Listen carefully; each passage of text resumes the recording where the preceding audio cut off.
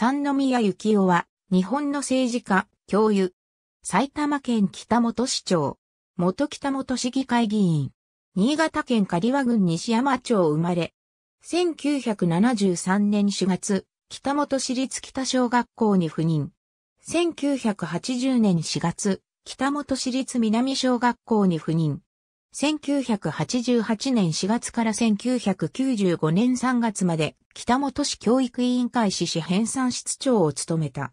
1995年4月、北本市議会議員に初当選。